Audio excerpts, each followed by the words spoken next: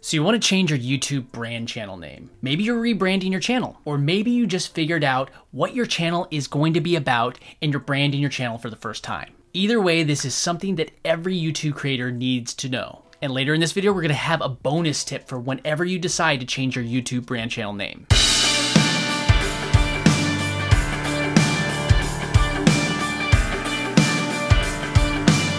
Welcome to Entrepreneur's Toolbox. I'm Jonathan and I'm here to help you find the tools to build income online. New videos go up every week, so make sure that you subscribe and ring the bell so you get notified every time that a new video goes live. So first off, you need to understand that there are two different types of YouTube accounts, personal accounts and brand accounts. If you're just watching some YouTube videos and maybe posting some home videos, you're fine with a personal account. If you're a brand and using YouTube to deliver your content, then you'd want a brand account. One thing about a brand account is that you can create a unique name for your channel. For example, my channel is called Entrepreneur's Toolbox with Jonathan. When I started my brand channel, I called my channel just Entrepreneur's Toolbox. Later, I decided I wanted to add in the with Jonathan. Will I change it again? Maybe, I don't know. Point is, I was able to change it. You have to dive into the settings to do it, so let's take a look. All right, so you're on YouTube and you need to go to YouTube Studios. The easiest way to go it is the top right corner, click on your little avatar profile picture and click YouTube Studios. Once you're in YouTube Studios, you're gonna wanna go all the way to the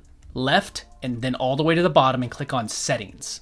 Once in Settings, just click on Channel and then Advanced Settings. Now scroll all the way to the bottom and click Manage YouTube Account. Make sure that your account is allowing pop-ups. A new tab will then open up and it will give you a couple different options under your YouTube channel. What you want to select is edit on Google. So now that you are in the about me section for your Google account, you can go to basic info and then go to name. As you can see right now, Entrepreneur's Toolbox with Jonathan, it's the name of my channel. If I click that and then click the little pencil icon, change the channel name. It's that simple.